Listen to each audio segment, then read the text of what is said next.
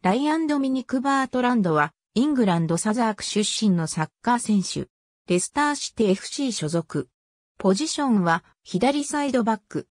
1998年からイングランドのジリンガム FC のユースチームでキャリアをスタートさせ、2005年にチェルシー FC のユースチームに移籍し、2006年にトップチーム昇格した。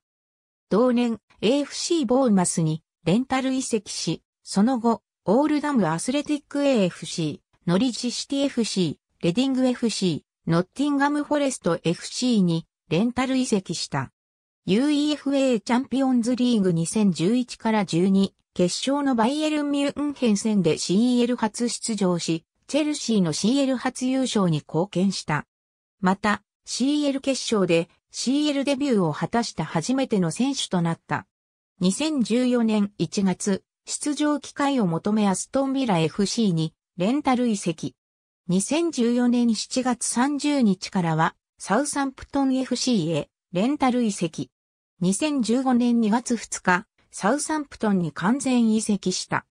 2021年7月15日、レスターシティ FC にフリー移籍で加入し、2年契約を結んだ。イングランド代表として UEFAU-19 欧州選手権2008、UEFAU-21 欧州選手権2011に出場した。2012年8月15日のイタリアとの親善試合で A 代表デビュー。2017年9月1日のワールドカップ予選マルタ戦で代表初得点を挙げた。ありがとうございます。